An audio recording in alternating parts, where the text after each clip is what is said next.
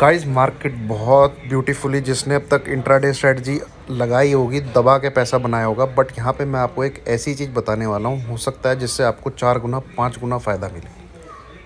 ठीक है? और वही बैंक निफ्टी में।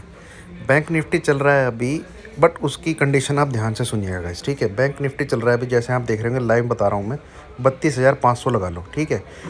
इसी के हज़ार पॉइंट ऊपर का, यानी तैंतीस हज़ार पाँच सौ का एक कॉल लेना है और इसी के हज़ार पॉइंट नीचे का, इकतीस हज़ार पाँच सौ का एक पुट लेना है।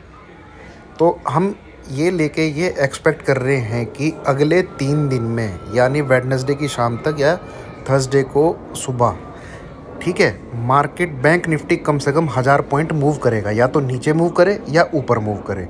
इतनी वॉलेटिलिटी रहेगी, ठीक है गाइज़ तो ये आप लीजिए इसमें नुकसान तभी होगा जब मार्केट 200-300 पॉइंट में ही बैंक निफ्टी थर्सडे को एक्सपायरी दे दे यहाँ से। तो ठीक है बगाइज जो ये झेल सकते हैं, वो ही ये कॉल पुट ले।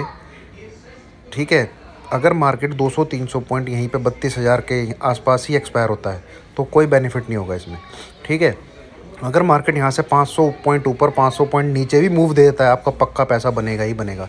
और गाइज़ मैं बहुत बिज़ी हूँ, बहुत बिज़ी हूँ, हद बिज़ी हूँ, आपको पता है जन फेब मार्च का मंथ कैसा होता है प्राइवेट सेक्टर वालों के लिए।